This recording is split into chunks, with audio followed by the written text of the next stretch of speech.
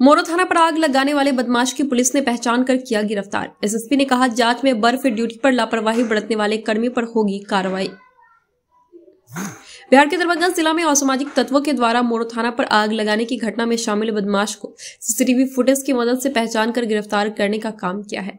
उक्त बातों की जानकारी देते हुए वहीं दरभंगा के वरीय पुलिस अधीक्षक अवकाश कुमार ने कहा कि बीती रात्रि में करीब एक बजे मोड़ थाना अध्यक्ष द्वारा सूचना दिया गया कि कुछ असामाजिक तत्वों के द्वारा थाना में आग लगाने का प्रयास किया गया।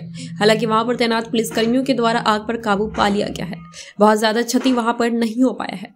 सूचना मिलते ही वरीय पदाधिकारी सहित मैं खुद वहाँ पहुँचा। वहाँ पर तैनात सभी पुलिस पदाधिकारी और पुलिस बल से पूछताछ की गई। साथ ही थाना पर लगे सीसीटीवी फुटेज को खंगाला गया, जिसके बाद मोरो थाना में एक एफआईआर दर्ज की गई है। वहीं अवकाश कुमार ने बताया कि सीसीटीवी फुटेज खंगालने के बाद एक व्यक्ति की पहचान हुई, जिसकी गिरफ्तारी भी की गई है, जिनका नाम धर्मेंद्र ठाकुर है। वह कफर, कपरपुरा का रहने वाला है। अनुसंधान के क्रम में पता चला है कि धर्मेंद्र ठाकुर तीन भाई है, जिनके बीच रविवार को किसी बात को लेकर लड़ाई हुई थी। इसमें से एक भाई कल थाना पर केस करने के लिए आ रहा था। इस बात की सूचना जैसे ही धर्मेंद्र को लगी, उसने अपने भाई को रोकने के मकसद से लाठी लेकर थाने पर पहुँचा और इसको थाने पर पहुँचने में एक और व्यक्ति अरुण यादव का नाम सामने आया है।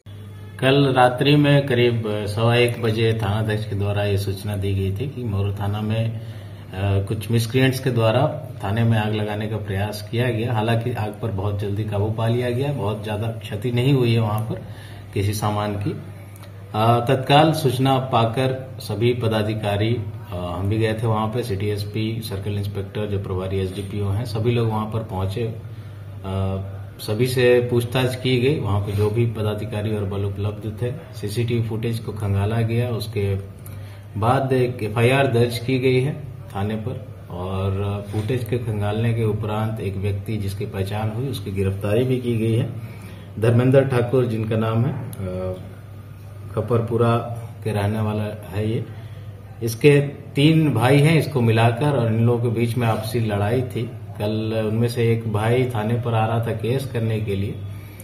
इसको सूचना मिली इस धर्मेंद्र को तो ये अपने भाई को रोकने के मकसद से लाठी वाठी लेकर थाने पर पहुँचा। इसको थाने पर पहुँचाने में एक और व्यक्ति है, अरुण यादव, जिनका नाम सामने आया है इस केस में, जो इसकी गिरफ्तारी के बाद पूछताछ के बाद इसने बताया है।